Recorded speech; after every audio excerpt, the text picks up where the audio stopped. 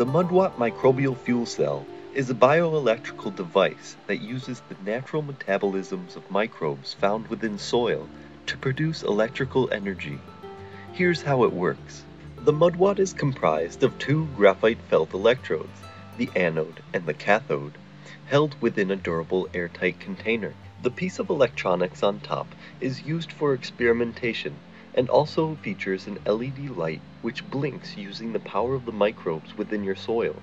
The user simply fills the mudwatt with wet soil, burying the anode while resting the cathode on top.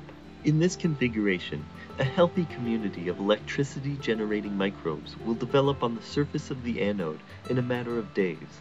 These bacteria have unique metabolic abilities which enable them to respire the sugars and nutrients within the soil and deposit electrons onto the anode as part of their natural metabolism. Protons and carbon dioxide are released into the soil as metabolic byproducts and diffuse toward the cathode. Once transferred to the anode, the electron then travels through the electrode wire through the mudwatt electronics to the cathode. While passing through the electronics, this electrical current will light the LED light on top, giving you a visual indication that your microbes are healthy and happy.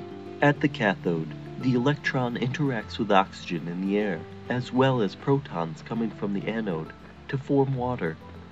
The carbon dioxide originating from the anode is released into the air. The cycle continues, limited only by the availability of nutrients within the soil and oxygen within the air.